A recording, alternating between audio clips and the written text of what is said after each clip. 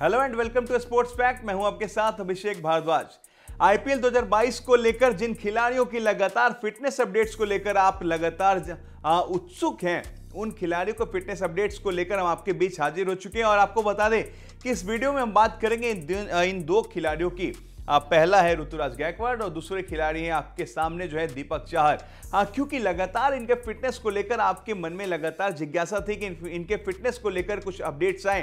उन्हीं अपडेट्स पर बात करेंगे। जो अपडेट्स आई हैं उन अपडेट्स के ख्याल से आ, इन दोनों के खेलने पर लगातार जो है अभी भी संशय बरकरार है और वो इसलिए कि सीएसके के सीईओ जो हैं काशी विश्वनाथन उन्होंने कहा है कि अभी एनसीए के अंडर में दोनों ही खिलाड़ी अपने फिटनेस के ऊपर काम कर रहे हैं और जब तक एनसीए की तरफ़ से कोई अपडेट्स नहीं आती है, तब तक हम किसी भी तरीके का कोई फैसला नहीं ले सकते और ना ही इन खिलाड़ियों के बारे में बता सकते हैं कि ये दोनों खिलाड़ी कब से टीम को ज्वाइन करेंगे। और इसके पहले आपको बता दें कि दीपक चार को लेकर उन्होंने कहा है अब तक जो रिपोर्ट्स में आई हैं उन्होंने कहा है कि दीपक चाहर को देखिए उनकी चोट इस तरीके की है कि उनको छह से आठ हफ़्ते भी वक्त लग सकते हैं। इसलिए आईपीएल का फ़र्स्ट हाफ़ जो है वो कहीं ना कहीं ये मिस करते हुए दिखाई दे रहे हैं अब तक की रिपोर्ट के अनुसार।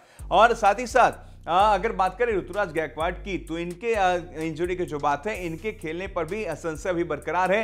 एनसीए की तरफ़ से जो रिपोर्ट्स आएँगी, जो रिहैब में जिस तरीके से अपने फिटनेस पे काम कर रहे हैं, उसको लेकर जो कुछ भी रिपोर्ट्स आएँगी, उसके बाद ही कहीं ना कहीं सीएसके मैनेजमेंट इन दोनों खिलाड़ियों को लेकर फैसला करेंगे। लेकिन इस बीच एक बड़ी अपडेट भी आई है, वो अपडेट भी आपको बताएँगे, लेकिन उसके लिए थोड़ी देर हमारे साथ बने रहिए। उस बीच इन दोनों खिलाड़ियों के बारे में थोड़ी चर्चा कर लेते हैं। एक तरफ़ ऋतुराज गायकवाड़, जिनको सीएसके ने पहले ही अपने रिटेन प्लेयर लिस्ट में शामिल कर लिया था, और इनको छह करोड़ की जो रकम थी, उस पर इनको रिटेन किया गया था। और बात करें अगर दीपक चाहर की।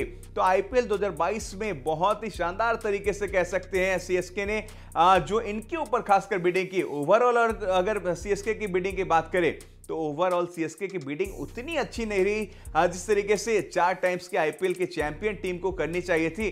लेकिन फिर भी अगर बात करें दीपक चाहर के मामले में तो कहीं ना कहीं सीएसके ने जो पासा फेंका, वो कहीं ना कहीं उस पासिक से ये तुर्प का इक्का उनके टीम में शामिल होने में सीएसके के खेमे ने सफलता पाई है।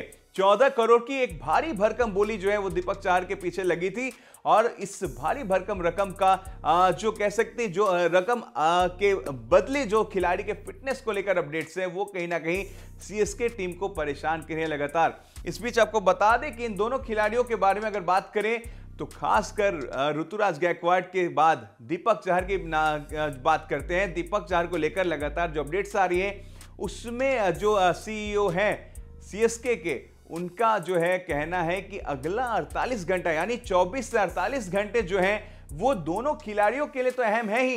दीपक चहर के लिए ज़्यादा अहम है क्योंकि इनका जो इंजरी है, इनकी इंजरी को ठीक होने में लगभग छह से आठ हफ़्ते का वक्त लग सकता है।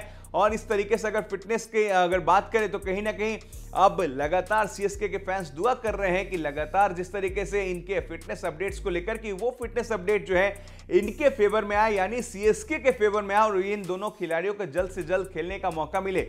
इस बीच आपको बता दें कि अपने फिटनेस से लगातार जूझ रहे हैं दीपक चाहर। आ, फिर भी इन्होंने ऑपरेशन कराने से कहीं ना कहीं मना कर दिया था। जिस तरीके की रिपोर्ट्स भी आई थी हमने आपको खबर भी बताई थी कि आईपीएल खेलने के लिए कितना ज़्यादा उत्सुक है दीपक चार उन्होंने अपने इस इंजरी को दरकिनार करते हुए, उसके ऑपरेशन को भी दरकिनार करते हुए कहा है कि मैं आईपीएल खेलना चाहूँगा। आईपीएल के बाद मैं ऑपरेशन कराने के लिए तैयार हूँ।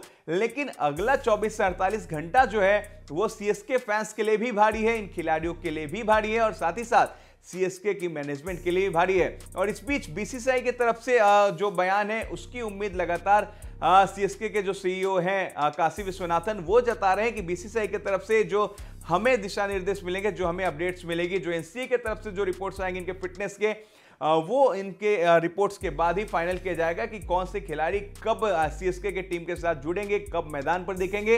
लेकिन 24 से 48 घंटे की जो बात है, जो लगातार अपडेटेड रिपोर्ट है वही कह रहे हैं कि एनसीए के तरफ़ से जो रिपोर्ट्स आने वाली है 24 से 48 घंटा जो है वो कहीं ना कहीं बहुत ही मुश्किल होगा। और इस 48 घंटे को बिताना बहुत ही ज़्यादा मुश्किल होगा सीएसके मैनेजमेंट के लिए भी, खासकर इन दोनों खिलाड़ियों के लिए भी, क्योंकि हेल्थ अपडेट जिस तरीके के आएँगे, उसी तरीके से इनके ऊपर फैसला लिया जाएगा, इनके खेलने के ऊपर फैसला लिया जाएगा।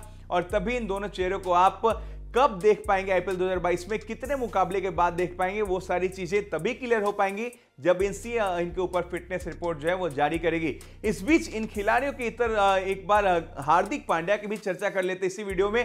हार्दिक पांड्या को भी लेकर एनसीए ने पहले बुलाया था। हार्दिक को हार्दिक ने पहले दफ़ा जाने से मना कर दिया। उन्होंने बोला कि मैं फिटनेस पे काम कर रहा हूँ, लेकिन बाद में उन्होंने एनसीए ज्वाइन करने के लिए हामी भर दी। और इस बीच फ़िलहाल हार्दिक पांड्या भी एनसीए में है और लगातार अपने फिटनेस पे काम कर रहे हैं। तो एक तरफ़ जहाँ मीडिया ने गुजरात टाइटंस की जर्सी लॉन्च के दौरान पूछा था कि हार्दिक आप क्या गेंदबाजी करते हुए भी दिखाई देंगे? तो हार्दिक ने कहा था कि देखिए, ये जो है, आपके लिए सरप्राइज़ रहेगा। तो सरप्राइज़ दोनों ही तरफ़ से हो सकता है। जब तक एनसीए के रिपोर्ट्स में क्लियर नहीं हो पाता है कि हार्दिक का फिटनेस लेवल क्या है, हार्दिक इस फिटनेस के साथ क्या बल्लेबाजी और गेंदबाजी दोनों कर सकते हैं कितने मुकाबले खेल पाएँगे शुरुआती मुकाबले से खेल पाएँगे या नहीं खेल पाएँगे तमाम तरीके के सवाल तब तक बरकरार रहेगी जब तक एनसीए के तरफ़ से इनके फिटनेस को लेकर कोई रिपोर्ट्स नहीं आ जाती है।